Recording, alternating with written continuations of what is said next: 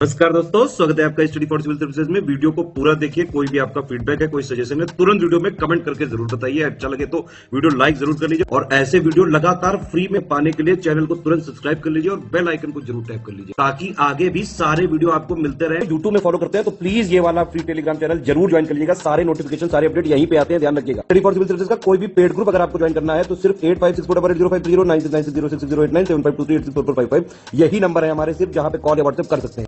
Instagram पे हमारा page ज़रूर फॉलो कर लीजिएगा। Study for civil dot services है। ट्विटर पे हमको ज़रूर फॉलो कर लीजिएगा। At the rate study for civils है। Hello everyone welcome you all to study for civil services आज की डेट है 21 दिसंबर। और आज की डेट में हम लोग 21 दिसंबर के जितने भी इंपॉर्टेंट करंट अफेयर्स बनते हैं, उनको स्टार्ट करने वाले हैं। और अब हम ये देखते हैं कि आज के इम्पोर्टेंट हमारे आर्टिकल्स कौन से हैं। सबसे पहला है स्केड्यूल्ड ट्राइब्स जो कि अनुसूचित जनजातियाँ होती हैं। Goa liberation day GI tag windfall gains tax Kasturi cotton और फंडिंग द एनर्जी ट्रांजिशन सबसे पहले हमारा फ़र्स्ट आर्टिकल है शेड्यूल्ड ट्राइब्स के ऊपर। शेड्यूल्ड ट्राइब्स में क्या होता है? जिसमें अभी रिसेंटली न्यूज़ क्या है? न्यूज़ कुछ ऐसी है कि लोकसभा ने जो है वो एक बिल पास किया है। कि जो हट्टी ट्राइब्स हैं हट्टी या हट्टी ट्राइब्स कहाँ की है जो कि हिमाचल प्रदेश की है उनको यहाँ पर शेड्यूल ट्राइब के लिस्ट में शामिल करने का यहाँ पर फरमान जारी कर दिया गया है।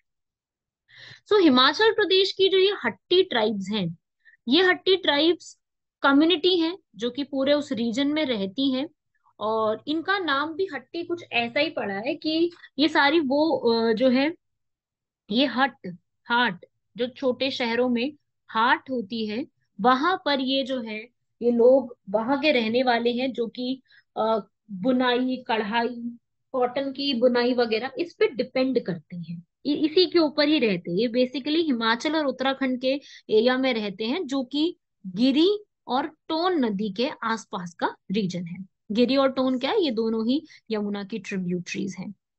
ठीक है? सो इस तरीके से यहाँ पर है और ये सब जो है हट्टी में आसपास जो है वो लोग रहते हैं खुम्बली जैसे आपको पता ना, खाप पंचायत आपने पढ़ा हुआ है। जैसे खाप पंचायत हरियाणा में चलती है, ऐसे खुम्बली जो है वो हट्टी ट्राइब्स के लोगों के हेड होते हैं। सो अगर मैं बात करूँ कि ये जो हमारे स्केड्यूल ट्राइब्स हैं, वो आपका पूरा 8.6 परसेंट है 2011 के सेंसस के हिसाब से। साथ ही साथ जो इतने, इतनी पॉपुलेशन जो है, वो रहती है कहाँ पर? ग्रामीण इलाकों में और कुछ पॉपुलेशन रहती है अर्बन एरियाज़ में। ज़्यादातर जो है वो ग्रामीण इलाकों में रहती है इलेवन पॉइंट थ्री परसेंट और कुछ रहती है जो है अर्बन एरियाज़ में। शेड्यूल्ड ट्राइब्स जो है, बिल्कुल हमारे कॉन्स्टिट्यूशन में उनको जगह दी गई है। क्यों? क्योंकि ऐसा देखने को मिला है कि भाई ये जो जितने भी ये लोग हैं, हमारे जो संविधान के निर्माता हैं, उन्होंने यही बोला था कि देश में ऐसे कोई कुछ एरिया है जहाँ पे जो है कृषि और कुछ आधारभूत सुविधाओं की वहाँ पर जो है वो उपलब्धि नहीं है। वो पिछड़ेपन में है आते हैं। तो उनको पिछड़ेपन से मुक्त कराने के लिए हमें क्या करना पड़ेगा? हमें जो है उनके लिए स्पेशल यहाँ पर एक एरिया देना पड़ेगा। वैसे कॉन्स्टिट्यूशन ने ये नहीं बताया कि हम किन लोगों को कह सकते हैं जनजाति मतलब जनजातियों की परिभाषा हमारे पास नहीं है। लेकिन अनुसूचित जनजाति का ये मतलब होता है, ऐसी जनजातियाँ जिन्हें संविधान के 342 का जो आर्टिकल है उनके रूप में स्वीकार किया गया है। ठीक है?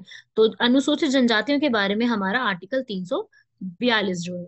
और ये किसके पास ज़िम्मेदारी है? प्रेसिडेंट ये काम कर सकते हैं। किससे? पूछ करके उस स्टेट के गवर्नर से बात करके। ठीक है? कर सकते हैं। और उनके लिए कि जो भी हमें लिस्ट में ऐड करना है लिस्ट से डिलीट करना है, वो पार्लियामेंट कर सकता है।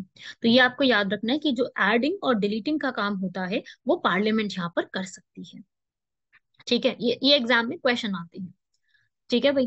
तो आर्टिकल थ्री फोर्टी टू तीन सौ बयालीस में यही बात लिखी है, उनकी लिस्ट लिखी हुई है और इसमें हम एड इन एड और डिलीट वगैरह कर सकते हैं। कौन कर सकता है? पार्लियामेंट करती है। हमारा जो फिफ्थ स्केड्यूल है, सबने पढ़ा है? फिफ्थ स्केड्यूल है, वो इसी के बारे में बात करता है, जिसमें जो हमारे इनको कंट्रोल करने के लिए जो एक बनाई भी जाती है टीएसी टीएसी क्या होती है? ट्राइबल एडवाइजरी काउंसिल गवर्नर वहाँ पे बनाता है एक पर्टिकुलर ट्राइब के लिए। जो ट्राइबल पीपल है, उनके लिए स्पेशली एक अलग से ट्राइबल एडवाइजरी काउंसिल बनाई जाती है। और साथ ही साथ सिक्स शेड्यूल में जो है ए टी एम एम की ट्रिक से आप याद रख सकते हो। A T M M Assam, Meghalaya, Tripura, Mizoram, ये चारों के लिए सिक्स शेड्यूल में लिखा हुआ और यहाँ पे क्या बनाई जाती है? एडीसी आप दो ट्रिक से याद कर सकते हैं। एक तो आप ये एटीएमएम याद रख सकते हैं, दूसरा एक ट्रिक और है, वो है, थोड़ी अजीब सी है वो एम ए टी एम मातम। तो आपकी इच्छा आप कैसे भी इसको याद रख सकते हैं। ठीक है? सो so, इस तरीके से आपको ये नाम सारे याद रखने हैं। यहाँ पर इन चार एरियाज़ के बारे में लिखा हुआ है। कौन से चार एरिया हैं? असम मेघालय त्रिपुरा मिजोरम। और इन चारों एरिया में क्या बनाई जाती है? एडीसी एडीसी क्या होता है?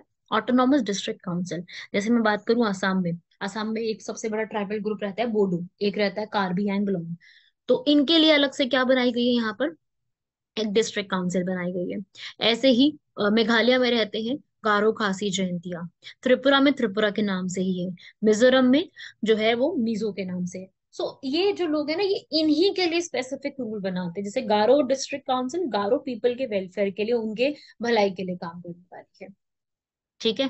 सो so, ऐसे बट भाई अब क्या है स्केड्यूल ट्राइब्स वो हमें नहीं पता। वो कॉन्स्टिट्यूशन में लिखा नहीं हुआ। लेकिन हम ये कह सकते हैं कि भाई जो है शेड्यूल ट्राइब्स वो होते हैं जो अभी पिछड़े हुए हैं, जिनका जो शैक्षिक, आर्थिक तौर पे, भौगोलिक तौर पे, वह ऐसी चीज़ें हैं जो बाकी समुदायों से थोड़ा सा पिछड़े हुए हैं। उन्हें हम कहते हैं स्केड्यूल ट्राइब जैसे हट्टी हट्टी जनजाति के बारे में क्या पढ़ेंगे? ये गिरी रीजन में रहते हैं हिमाचल प्रदेश के, जिनका जो है जौनसार, बावार एरिया उत्तराखंड से थोड़ी सिमिलैरिटीज भी हैं। ये लोग हाट में रहते हैं और इनका नाम जो है वहाँ पे ये ये सब चीज़ें उगाते हैं ये वहाँ पे जो है, उस एरिया में सब्ज़ी, फ़सल, मांस, ऊन, इन सब बेच, ये सब वहाँ पर जो है वो लोग बेचते हैं। और बहुत समय से वो ये इस चीज़ की डिमांड कर रहे हैं, इनकी अच्छी खासी पॉपुलेशन है शिमला में और सिरमौर में। इनकी जो है अच्छी खासी सिरमौर एरिया में और शिमला में पॉपुलेशन भी है। ठीक है ना? सो ये आप याद रखिएगा, ये आपसे पूछा जा सकता है। इन लोगों ने बहुत टाइम से ये चीज़ डिमांड कर रखी है और फाइनली इनकी ये डिमांड पूरी भी कर दी गई है। और जितने भी हमारे जितने भी ये शेड्यूल्ड ट्राइब्स हैं, हमारे अनुसूचित जनजाति हैं, इनके लिए बहुत सारे सरकार ने योजनाएँ भी निकाली जैसे प्रधानमंत्री वन धन योजना। वनों के लिए, ठीक है? इनके लिए अलग से ट्राइबल स्कूल्स बनाने के लिए योजना है।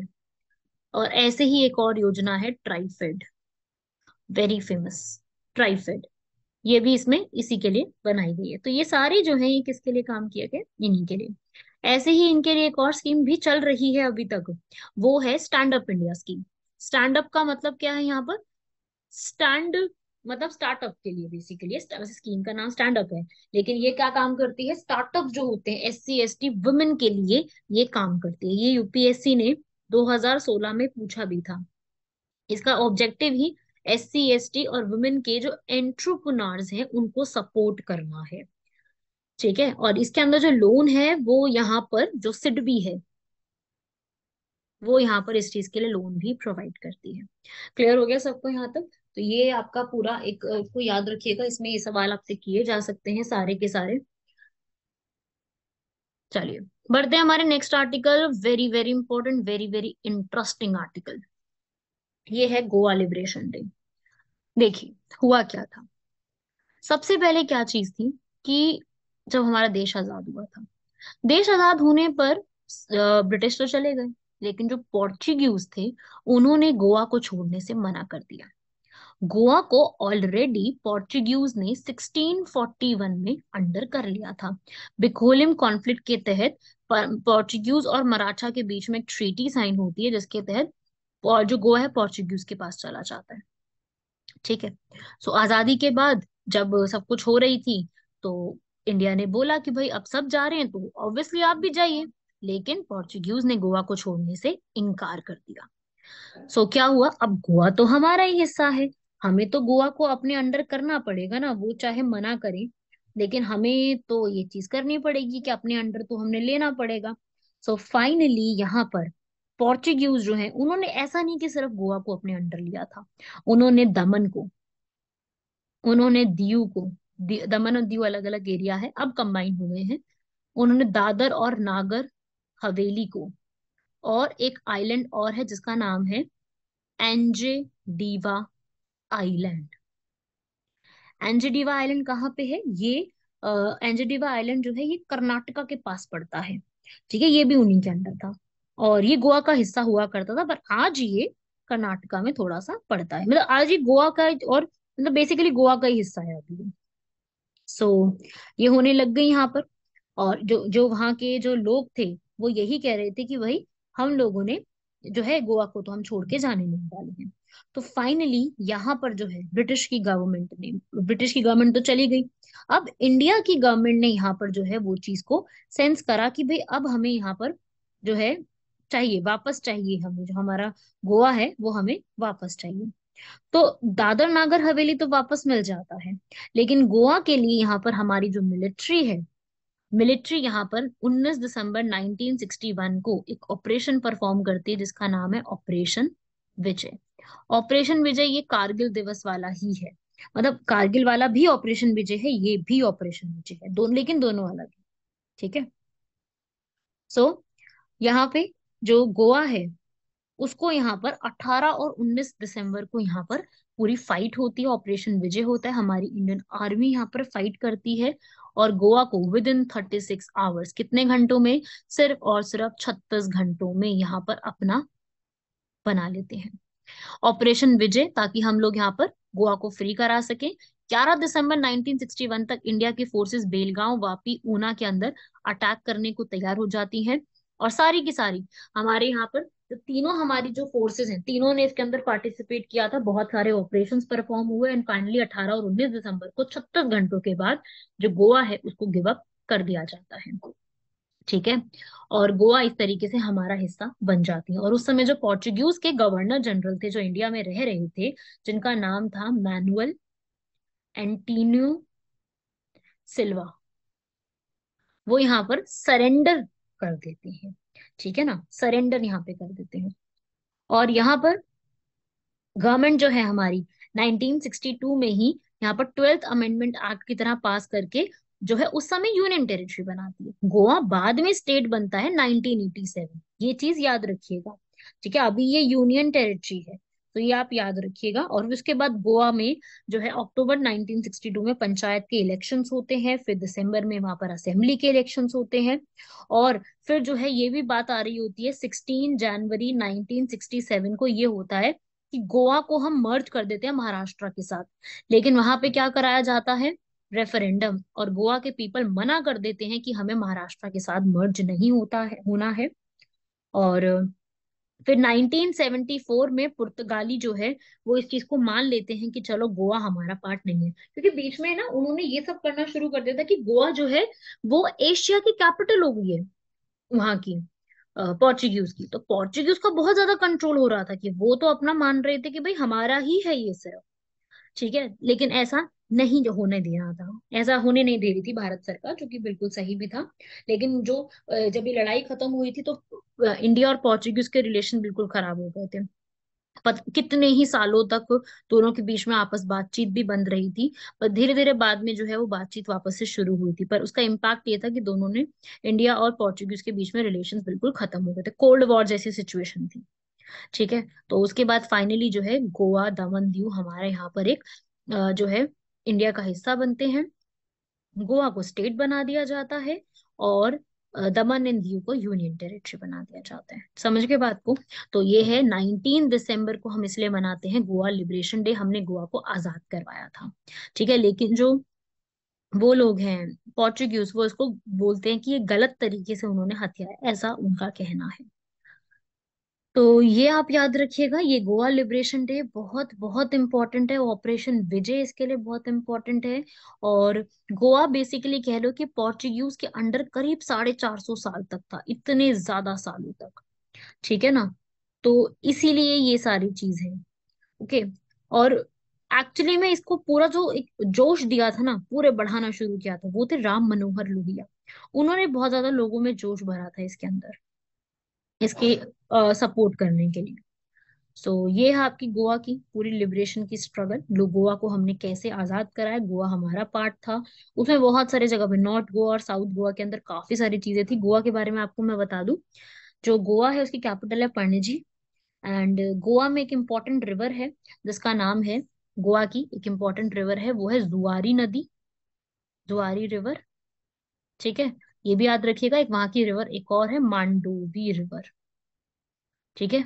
मांडोवी रिवर और यहीं पर ही एक एयरपोर्ट है एक रेलवे स्टेशन भी है जिसका नाम है Vasco da Gama Vasco da Gama पता है ना पहले पोर्चुगीज जो भारत आए थे स्पाइसेस के लिए। ये वही है। ठीक है ना? तो ये याद रखिएगा। पो, पो, जो पोर्चुगीज है वो लिया था यहाँ पर और ये सारी चीज़ें फिर होती गई। ठीक है भाई? यहाँ तक क्लियर हो गया? ये गोवा की थोड़ी सी ज्योग्राफी के बारे में बता रही हूँ। अच्छा गोवा की लैंग्वेज क्या ऑफिशियल ये भी आपको पता होनी चाहिए, वो है कोंकणी। और कोंकणी हमारे भारत में जो है वो स्केड्यूल्ड जो लैंग्वेज है बाईस, आठवीं अनुसूची में, ये वही नहीं है, ठीक है? हाईएस्ट पॉइंट गोवा का कौन सा है? गोवा का हाईएस्ट पॉइंट है सोनसो गोर सबसे हाईएस्ट पॉइंट है इसका सोनसो गोर लिख लीजिएगा इसको, गोवा का highest point major important river आपको जुआरी और मांडोवी याद रखनी है। और भी है, पर वो उतनी इंपॉर्टेंट नहीं है। ठीक है? और यहाँ पर एक ही नेशनल पार्क है सबसे इंपॉर्टेंट नेशनल पार्क है वो है मोल्लेम नेशनल पार्क एक ही है। बाकी यहाँ पे काफ़ी सारी वाइल्ड लाइफ सेंचुरी जैसे डॉक्टर सलीम अली हो गई नेत्रवली भगवान महावीर सेंचुरी ये सब है। सो so, ये आपको इंपॉर्टेंट फैक्ट्स याद रखने हैं गोवा के बारे में। मैंने आपको सारे इंपॉर्टेंट फैक्ट्स बता दिए। और ये गोवा का इंपॉर्टेंट फैक्ट आपसे जो प्रिलिम्स का एग्ज़ाम जो होगा ना उस टाइप के क्वेश्चंस में आपसे पुटअप किया जा सकता है। ठीक है? प्रिलिम्स जैसे एग्ज़ाम में there is a high chance कि इस टाइप का आपसे कोई क्वेश्चन पुटअप किया जा सके। Am I clear to you all चलिए थर्ड आर्टिकल की तरफ़ बढ़ते हैं जीआई टैक्स के ऊपर। बहुत न्यूज़ में चल रहे हैं, क्योंकि रिसेंटली केरला के पाँच जी एग्रीकल्चर प्रोडक्ट्स को जीआई टैग दिया गया पहले तो हम उनके नाम देख लेते हैं, फिर मैं आपको जीआई टैग के बारे में पूरा एक्सप्लेन करती हूँ। पूरा, इससे बाहर आपसे कुछ नहीं पूछेगा। जितना मैं बता रही हूँ ना, आज गोवा के बारे में बताया जीआई टैग इससे बाहर नहीं पूछेगा। क्यों? क्योंकि इससे बाहर है ही नहीं। यही है ठीक है, इतना अच्छे से रट के चले जाओ, पूरी तरीके से। एक एक वर्ड को ध्यान से सुनो। जो मैं कहती हूँ ना, वो वर्ड्स को बहुत ध्यान से सुनो। लिसन दोज वर्ड्स तब आपको पूरा एकदम क्लियर हो जाएँगी चीज़ें। किस किस को मिला है? अट्टापेडी, ओट्टुकुमा अवरा, थुवरा। ये नाम आप पढ़ सकते हैं, इनकी प्रोनाउंसिएशन थोड़ी सी डिफ़िकल्ट भी है। कंथानालूर कोडुनगलूर ये सब जो है आपके इंग्लिश मीनिंग भी लिखे हैं beans red gram sesame garlic मतलब लसन ठीक है? और आगे भी पढ़ेंगे स्नैप मेलन इन सबको दिया गया। क्यों? क्योंकि इनकी स्पेशल फीचर्स है वहाँ के, केरला के। सो जीआई टैग क्या होता है? सबसे पहले हम ये समझते हैं जीआई टैग क्या होता है। मैं आपको एक सिंपल सा एग्ज़ाम्पल देती हूँ। अभी मैं आपको बोलूँ, रसगुल्ला रसगुल्ला। तो आपके दिमाग में रसगुल्ला से किसकी पिक्चर बनेगी? कैलकटा की, है ना? हाँ हो सकता है बीकानेर और ग्रोवर स्वीट्स की भी बने, पर आपके दिमाग में ज़्यादातर जो यही दिमाग में आएगा कि अच्छा हाँ ये तो वहाँ का है, कैलकाटा का, वेस्ट बंगाल का। अगर मैं आपको बोलूँ मशरूम या फिर मैं आपको बोलूँ केसर केसर सुन के किसकी पिक्चर बनती है? कश्मीर की, है ना? वही है जीआई टैग जीआई टैग एक जगह की पहचान बन जाता है। ठीक है? ये एक भौगोलिक संकेतक है जो उन उत्पादों को प्रदान किया जाता है जो एक विशिष्ट वहाँ पर ही उसकी उत्पत्ति होती है और उसकी विशेष गुणवत्ता है वहाँ की, जिसके आधार पर उसको वहाँ का ही माना जाता है। मान के चलते हैं कि ये उस जगह से ही जो है, वहाँ से ही उत्पद, उत्पत्ति उसकी वहीं से ही हुई है। ठीक है? उसकी क्वालिटीज और उसकी ऐसी जो वहीं पर ही मिलती है ये चीज़।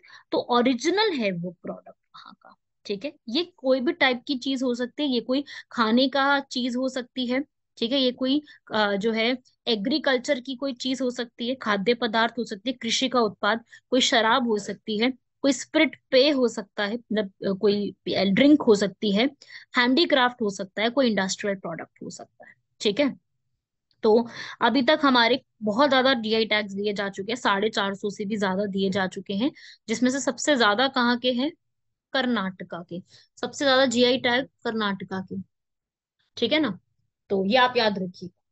जीआई टैक्स ऐसे दिया जाता है। कौन देता है ये जीआई टैक्स लिख लीजिए अपने नोट्स में। Ministry of commerce and industry commerce industry इसको प्रोवाइड देती है, करती है। ठीक है ना? और ये जीआई टैग दस साल के लिए वैलिड रहते हैं। दस साल के बाद इनकी वैलिडिटी खत्म हो जाती है। कुछ ऐसे प्रोडक्ट जिनको जीआई टैक्स मिला हुआ है, जैसे कि केरला में है ये। अट्टा पैडी, अट्टू कोम्बू अबारा, ये बीन्स हैं, जो कि एक ऐसे होते हैं जिसमें आपको एक वायलेट कलर के बीन्स होते हैं, जिसमें कैल्शियम प्रोटीन फाइबर सबसे ज़्यादा अमाउंट में होता है तो ये ऑर्गेनिकली बने हुए होते हैं, ठीक है? तो ये इनकी खास बात है। ऐसी रेड ग्राम ये सीड्स जिनकी व्हाइट कोट होती है और इनका वेट काफ़ी हाई होता है और इसमें protein carbohydrates fibre calcium magnesium ज़्यादा होता है। तो ये आपको याद रखनी है सारी चीज़ें। ओनाकेटू एला, सीसेम, ये एक तेल है, एक तरीके का ऑयल है। ये तेल के भी अलग से लाभ है, जिसमें आप क्या है कि हमारे जो फ्री रेडिकल होते हैं, वो उनसे ये लड़ते हैं, ताकि हमारी बॉडी जो है, वो डिजीजेस से अपने आप को बचा सके। ठीक है? हमारी डिजीजेस से अपने आप को बचाने के लिए होता है। ये जो बेसिकली हार्ट पेशेंट्स के लिए सबसे ज़्यादा इस्तेमाल किया जाता है। ठीक है? मतलब उनके लिए अच्छा है सबसे। फिर है गार्लिक लहसन इडुकी एरिया में उगता है वहाँ के, जो कि sugar, cancer, cholesterol, heart disease, इन सबसे बचाने में मदद करता है, इन्फेक्शन से बचाने में मदद करता है। और यहाँ पर ऑयल की भी अच्छी मात्रा है। ऐसे ही स्नैप मेलन, फूट ककड़ी, ये क्या है? ये भी कोंडुगलूर एरिया में, एर्नाकुलम में होता है, जूस की फॉर्म में आता है। समर में ये सबसे ज़्यादा इसको उगाया जाता है। विटामिन सी इसमें बहुत ज़्यादा अमाउंट में होता है। इसमें कैल्शियम मैग्नीशियम फाइबर और फैट ये सारी चीज़ें देखने को मिलेंगी। तो ये है आपका जीआई टैक्स जो आपको जीआई टैग्स मैंने बताए हैं, जितना जितना जीआई टैग्स के बारे में लिखवाया है, बताया है आपको एक्स्ट्रा फैक्ट्स यही है जीआई टैग्स ठीक है? अभी रिसेंटली बिहार में मिथिला मखानों को भी मिला था, सुना होगा इसके बारे में। ठीक है? ये जीआई टैग्स हम क्यों देते हैं? जीआई टैग्स जो है, ये W T world trade organisation के कहने पर दिए जाते हैं। उनसे ही हमने यहाँ पर एक अग्रीमेंट साइन किया है ट्रिप्स का। उसके तहत हम ये जीआई टैग्स देते हैं। ठीक है? बहुत सब, बहुत सारी चीज़ों को जीआई टैग दिया जाता है दस सालों के लिए। दोबारा से भी आप ये ले सकते हो। ठीक है? आपको फ़ाइल करनी पड़ती है एप्लीकेशन फिर आपको यहाँ पर मिलता है। सबसे पहला जीआई टैग किसको मिला था हमारे भारत में? दार्जिलिंग की चाय को। अब जैसे मैं आपको बोलूँ, आपको चाय पीनी है तो आपके दिमाग में दार्जिलिंग की चाय आएगी या कांगड़ा की आएगी हिमाचल की? है ना? तो ये आएगा आपके दिमाग में। आपको अगर मैं बोलूँ, कुल्लू की शॉल, बासमती राइस, चंदेरी का कपड़ा, लखनऊ की जरदोसी, ठीक है, ये सब क्या है? आपको इनके बारे में पता है, ये सारे जीआई टैग्स हैं, ठीक है? आलू को मिला हुआ है, शाही लीची को मिला हुआ है, बिहार की। शाही लीची को मिला है मैंगो को मिला हुआ है, मधुबनी पेंटिंग को मिला हुआ है तो ये सब कुछ इंपॉर्टेंट प्लेसेस हैं, ठीक है ना?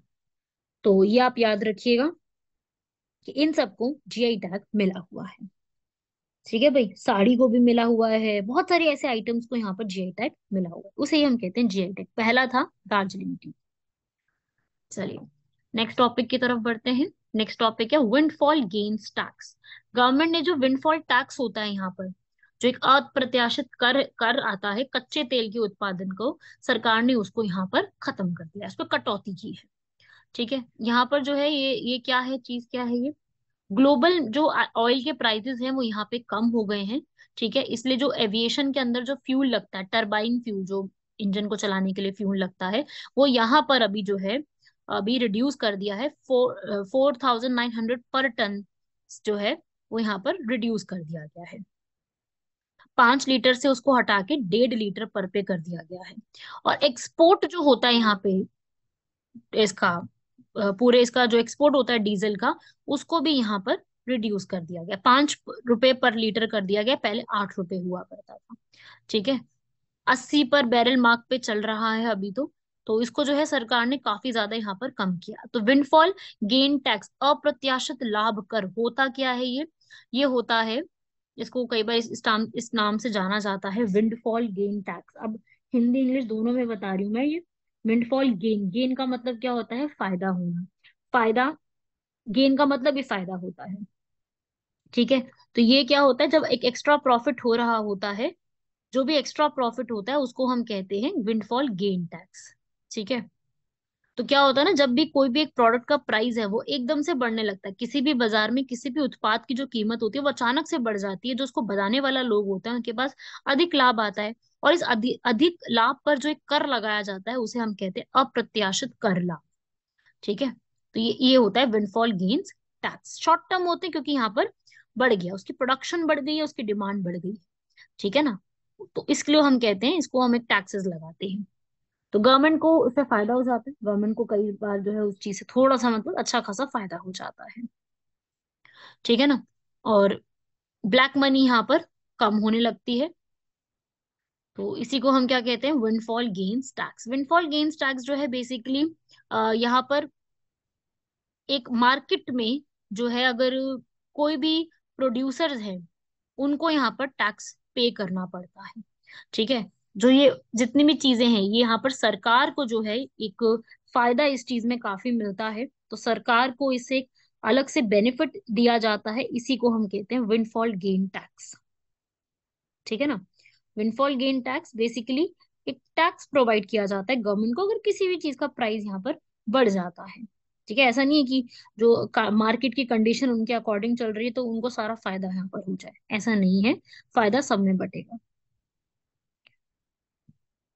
बढ़ते हमारे फिफ्थ आर्टिकल की तरफ़, कस्तूरी कॉटन ये भी बहुत न्यूज़ में है. कस्तूरी कॉटन क्या चीज़ है? ये भारत की प्रीमियम कॉटन है खुद की. ये हमारा खुद का लोगो भी आया है. कस्तूरी कॉटन का एक हमारा खुद का ब्रांड यहाँ पे तैयार हुआ है. इसको टेक्सपोरल जो है हमारी और कॉटन कोऑपरेशन ऑफ़ इंडिया ने दोनों ने यहाँ पर साइन करा है कि हम अब जो अभी कॉटन का सीज़न आने वाला है, खरीफ सीज़न उसमें हम कस्तूरी ब्रांड को और प्रमोट करने वाले हैं. कॉटन जो कपास है भारत में, वो उष्ण कटिबंधीय और उपो उपोष्ण कटिबंधीय फ़सल में यहाँ पर उगाई जाती है, जिसको उगाने के लिए करीब 210 ठंड मुक्त दिनों की आवश्यकता होती है, ये यूपीएससी का पूछा हुआ क्वेश्चन है। लाइट रेनफॉल चाहिए होती है, जो जो कपास की खेती है, वो सिंचित परिस्थितियों में की जा सकती है। साथ ही साथ इसको जो है उगाने के लिए अच्छी खासी आपको सनशाइन जो है, उसकी भी ज़रूरत होती है। ये हमारा खुद का लोगो है, जो मैं आपको कस्तूरी कॉटन बता रही हूँ। ये इंडिया का खुद का लोगो है। ठीक है? इंडिया जो है यहाँ पर अच्छी खासी अमाउंट में जो है कॉटन को ग्रो भी करता है और जब कपास की जो आपको जब भी कपास उगानी है तो एकदम साफ़ जो है वो आसमान होना चाहिए और जो आ, उसकी जो मिट्टी है उसमें आर्द्रता भी यहाँ पर कम होनी चाहिए। एक हल्की और अच्छी जल निकासी वाली मिट्टी जो है वो होनी चाहिए और अगर उसके लिए आ, सबसे ज़्यादा बेस्ट जो कॉटन होती है वो काली मिट्टी होती है। काली काली मिट्टी अगर होगी तो वो ज़्यादा बेटर होती है एक अच्छे तरीके से उगाने के लिए। ठीक है भाई? तो आप ये सब याद रखिएगा, इसको भी आप लिख लीजिए। कॉटन जो है वो काफ़ी ज़्यादा हम बाहर के लिए, के देशों में भी जो है वो एक्सपोर्ट करते हैं। हम लोग सबसे ज़्यादा Bangladesh, China, Taiwan sorry Vietnam Pakistan, Indonesia, Thailand, यहाँ सब लेते हैं। सबसे ज़्यादा जो है वो बांग्लादेश और चाइना है। ठीक है, जो कि सबसे ज़्यादा पूरे बाहर से लेते भी हैं। और सबसे ज़्यादा भारत में कौन उगाता है कॉटन को? महाराष्ट्र, गुजरात, तेलंगाना और राजस्थान। और वर्ल्ड में सबसे ज़्यादा कौन उगाता है? इंडिया, चाइना और यूएसए हमारी भारत की कॉटन को कस्तूरी कॉटन बोला जाता है। और ये जो लोगो है, ये अभी डिसाइड किया गया है। ये एक्चुअली अभी का नहीं, ये काफ़ी पहले का ही डिसाइडेड है ऑलरेडी और ये भी मैं आपको बता दूँ, जो वर्ल्ड का कॉटन डे है कॉटन डे हम मनाते हैं सेवन ऑफ़ अक्टूबर को। ये आपको पता होना चाहिए। सेवन अक्टूबर को हम लोग यहाँ पर ये स्पेशली मनाते हैं। और ये 2020 में ही कस्तूरी कॉटन आ गई थी। अभी नहीं आई है। कस्तूरी कॉटन पहले से ही आ चुकी है। ठीक है? अब इसमें तो ये कि आप थोड़ा सा और इसमें और नए नए इनिशिएटिव स्टार्ट किए गए हैं नई नई चीज़ें बनाई गई हैं। ठीक है? तो हमारे भारत में जो कॉटन कॉपरेशन है, ये आप देख रहे हो कॉटन कॉपरेशन ऑफ़ इंडिया कहाँ है इसके हेडक्वार्टर इस कॉटन कॉपरेशन के हेडक्वार्टर लिख लीजिए, कई बार ऐसा पूछा जाता है। बेलापुर, नवी मुंबई, महाराष्ट्र। नवी मुंबई में है। और कॉटन के जो रिसर्च इंस्टीट्यूट बने वो भी महाराष्ट्र में। क्यों? क्योंकि वहाँ पे सबसे ज़्यादा उगाई जाती है। इसलिए वहाँ पर इसके रिसर्च इंस्टीट्यूट भी बने हुए हैं। नागपुर में है, एक सिरसा में है, हरियाणा में। ठीक है ना? तो ये सब याद रखिएगा। अब क्या होता है ना कि अगर आपने ऐसे ब्रांड का नाम दे दिया तो उससे क्या होगा? आपको पूरा उसके बारे में इंफॉर्मेशन मिल जाएगी, आपको सर्टिफिकेशन मिल जाएगी, आप क्यूआर कोड से स्कैन करके सारा सारा उसके बारे में टेस्ट कर सकते हो कि भाई ये कस्तूरी कॉटन है भी या नहीं है। क्या इसमें कोई और कॉटन को मिक्स तो नहीं कर दिया गया है? तो ये सब चीज़ें हम जान सकते हैं। आप इस सब चीज़ों को जान करके। ब्रांडिंग मिल गई ना तो एक नया आपको एक ट्रस्ट बन जाता है उसके ऊपर, है ना? मानते हो ना इस चीज़ को? तो वही है ये चीज़। और अब आप सोच रहे होगे कि ये टेक्स प्रोकिल क्या चीज़ है? टेक्स प्रोकिल जो है बेसिकली ये कॉटन से जुड़ी हुई एक्सपोर्ट करने के लिए एक अलग से कमीशन बनाई गई है। 1954 में बना दी गई थी, जो कॉटन को एक्सपोर्ट करने का काम देखती है पूरे इंडिया में। कॉटन को हमें कैसे एक्सपोर्ट करना है उसको देखते हैं। ये दिल्ली के ही बारह खंबा रोड जो दिल्ली में ही एरिया है, वहीं पर इसके हेडक्वार्टर्स भी बने हुए हैं। क्लियर हुई बात? तो ये भी सारा छोटे छोटे पॉइंट्स है, इसको याद रखिएगा। ये पूरा एक्सपोर्ट का काम देखती है। और कॉटन कोऑपरेशन ऑफ़ इंडिया ये भी पूरा मिनिस्ट्री ऑफ़ टेक्सटाइल के अंदर सारा देखती है। पॉलिसीज़ बनाना एमएसपी डिसाइड करना, हर चीज़ें देखती है। इसके हेडक्वार्टर मैंने आपको बताई दी नवी मुंबई में है। तो ये सब याद रखिएगा। ये कुछ बेसिक बेसिक फैक्ट्स हैं जो आपसे पूछे जा सकते हैं। और जो भी बताएँ, उसमें से कई क्वेश्चन तो यूपीएससी ऑलरेडी पूछ भी चुकी है छोटे छोटे टॉपिक्स के ऊपर। कहाँ, कब, कैसे बनाए, इसके हेडक्वार्टर्स कहाँ पे है। ऐसे सब छोटे छोटे सवाल तो ऑलरेडी आपसे भी पूछे भी जा चुके हैं, जो मैंने आपको कवर कराया। आपको previous if you will be solving ना, आपको ये छोटे छोटे क्वेश्चन जो मैं आपको बताती हूँ यहाँ पर, ये आपको नज़र में नहीं आएँगे। तो इनको ज़रूर गो थ्रू करिएगा, किसी भी पॉइंट को ऐसे छोड़िएगा नहीं। लास्ट टॉपिक है हमारा आज का, वो है फंडिंग दी एनर्जी ट्रांजिशन यहाँ पर जो है इंडिया का जी ट्वेंटी की जो प्रेसिडेंसी है, वो कोप ट्वेंटी सेवन के कोप ट्वेंटी सेवन इजिप्ट श्रम अल शेख में हुआ था, अब जी ट्वेंटी जो है इंडिया संभाल रहा है। तो यहाँ पर जो है वो जो फंडिंग द एनर्जी ट्रांजिशन है, वो ये कह रहा है कि इंडिया के जी ट्वेंटी प्रेसिडेंसी जो है, वो अध्यक्ष होने के नाते कोप की बैठक से सीख लेनी चाहिए। यहाँ पर आपको पता है कि भाई इतनी ज़्यादा अभी जितने भी विकासशील और विकसित देश हैं, उनके बीच में मतभेद की स्थिति है कि भाई जो जलवायु परिवर्तन हो रहा है, कैसे रोका जाए? जलवायु परिवर्तन की जो परिस्थितियाँ आ रही है, उनको रोकने में यहाँ पे किया जाएगा। ऐसा कहा जा रहा है कि भाई 92 परसेंट से ज़्यादा जो जितने भी कार्बन एमिशंस होते हैं, वो तो यही जो डेवलप्ड कंट्रीज़ है, वो करती हैं। ठीक है? और यूएन इसके ऊपर तैयारी भी कर रहा है यूएन यूएनईपी यहाँ पर कि भाई अगर हमने जो पूरा हमारा कार्बन है उसके एमिशन को हमने नहीं रोका तो हमें आगे आने वाले समय में बहुत बड़े भारी नुकसान भी झेलने को देखने को मिल सकते हैं। तो उन्हीं नुकसान नुकसान को हमने जो है आ, कोशिश जो है ये की है कि इसको हम नुकसान की भरपाई कर सके फंडिंग यहाँ पे लेकर के आए। हमें फॉजल फ्यूल्स वगैरह जीवाश्म ईंधन की कमी और जलवायु के लिए हमें नई नई चीज़ें यहाँ पे करनी पड़ेंगी ठीक है? और हर कंट्री को कुछ ना कुछ यहाँ पे स्टेप लेने पड़ेंगे। क्लाइमेट फंड अभी क्या है? क्लाइमेट फंड अभी ना तैयार तो हो गए हैं। जैसे अभी आपको मैंने थोड़े दिन पहले लेक्चर में बताया था लॉस एंड डैमेज फंड के बारे में। तैयार तो हो गया पर इसमें अभी तक कुछ फाइनल नहीं हुआ है। लॉस एंड डैमेज फंड यहाँ पे आ गया कि भाई जो लॉस होता है उसको भरपाई यहाँ पे की जाएगी लेकिन इसके अंदर कैसे की जाएगी क्या क्या इसमें स्टेप रहेंगे कैसी इकोनॉमीज रहेंगी कुछ भी डिसाइड नहीं किया गया है। ठीक है? सो so, ये सब चीज़ें हैं अभी। पर वही है कि अभी इंडिया ने जो है यहाँ पर जी ट्वेंटी की जब यहाँ पर जो तैयारी पूरी यहाँ पर करी है।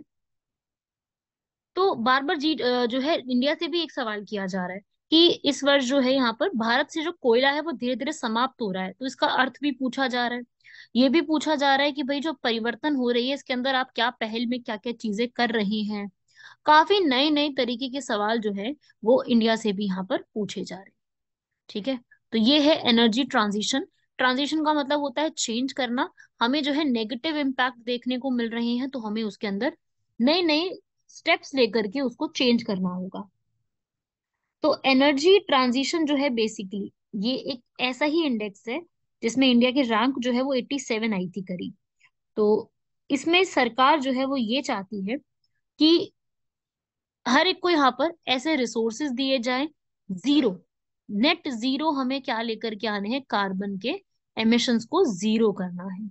उसके लिए क्या तैयारी चल रही है? उसकी के बारे में सवाल किए जा रहे राइट चलिए, बढ़ते हैं हमारे आज के क्वेश्चंस की तरफ़। हमारे आज के क्वेश्चन में सबसे पहले है कन्हरी केव्स कन्हरी केव्स बहुत काफ़ी न्यूज़ में रहती हैं। अब हम ये पढ़ते हैं कि कन्हरी केव्स के बारे में इंपॉर्टेंट चीज़ें क्या है। Kanheri caves Sanjay Gandhi national park Mumbai में सिचुएटेड है, बिल्कुल सही चीज़ लिखी है, बोरीवली में है ये, ठीक है? इनका दूसरा नाम मैं आपको बता देती हूँ, कन्हरी केव्स का दूसरा नाम है कान्हागिरी और कृष्णगिरी। कृष्णगिरी माउंटेन्स भी है, काराकोरम माउंटेन्स को कृष्णगिरी भी कहते हैं। कृष्ण मतलब ब्लैक इसका बेसिकली ये जो है, इनको कहा जाता है ब्लैक माउंटेन्स ठीक है? बुद्धिज्म से है। इनसे, इनकी जो जुड़ावट है, वो बेसिकली बुद्धिज्म से रही है और बिल्कुल सही स्टेटमेंट लिखी है। और, जो कन्हरी एरिया है पूरा, यहाँ पर बुद्धिस्ट मॉन्क्स रहा करते थे। रॉक कट बनी हुई है ये। रॉक से रॉकों को काट के यहाँ पर प्रेयर हॉल चैत्य विहार बनाए गए हैं। बिल्कुल सही लिखा हुआ है। इसमें बहुत सारी जगह आपको बुद्ध और बोधिसत्वा की यहाँ पर इमेजेस देखने को मिलेंगी। तो कन्हेरी केव्स बिल्कुल सारी इंफॉर्मेशन लिखी है। यहाँ पर चैत्य और विहार दोनों का देखने को मिलेगा। ठीक है? इंडिया में जो तीन फेसेस हैं, तीनों आपको देखने को मिलेंगे बुद्धिज्म के। हिनयान, महायान और वज्रयान। सुने हुए सब लोगों ने ये चीज़? तो हिनयान, महायान और वज्रयान, ये तीनों ही आपको जो है बुद्धिज्म के यहाँ पर देखने को मिलेंगे। और जब मॉनसून का समय आता था तो इन केव्स को जो है वो एज अ शेल्टर की तरह भी इस्तेमाल किया जाता था। जो विहार है, विहार मतलब क्या होता है? प्रेयर हॉल जहाँ पे सब पूजा करते थे, यहाँ पर सारी मेडिटेशन की जाती थी, वो भी बहुत सारी देखने को मिले। करीब करीब 109 जो भिक्षु भिक्षु और भिखुनी होते हैं, उनके लिए ये जगह होती थी। ठीक है? तो ये सब कुछ देखने को यहाँ पर मिला, जो कि बिल्कुल सही लिखा हुआ है, कन्हरी केव्स। उस समय जो है, बहुत ज़्यादा अमाउंट में लर्निंग की तरह इस्तेमाल किया जाता था। तो वहाँ के लोग जो है, यहाँ पर आके लर्न करते थे चीज़ों को। ठीक है ना? ये सब याद रखिएगा। तो और जो अभी जो एलिफेंटा केव्स हैं, ये भी महाराष्ट्र में ही है, मुंबई में। ये जो एलिफेंटा केव्स हैं, इन्हीं के जैसी बनी हुई है। क्लियर हुआ? तो इसमें सारी इंफॉर्मेशन सही लिखी हुई है। C is the correct answer last question देखेंगे। सूर्य किरण एक्सरसाइज होती है। किसके साथ होती है? नेपाल के साथ होती है। सूर्य किरण एक्सरसाइज हम नेपाल के साथ करते हैं और अभी इसका जो एक्सरसाइज है, वो अभी शुरू हो चुकी है। इसका सोलवा सत्र जो है, संस्करण शुरू हो चुका है। कहाँ पर हुआ है? ये स्टार्ट हुआ है Nepal army battle school Salhajandi, Nepal के अंदर। इंडिया में नहीं हुई है, नेपाल में हुई है। ठीक है, ये नेपाल, ये सलजंदी कहाँ पर है? ये लुम्बिनी में है। ये लुम्बिनी वही जगह है जहाँ पर गौतम बुद्ध का जन्म हुआ था।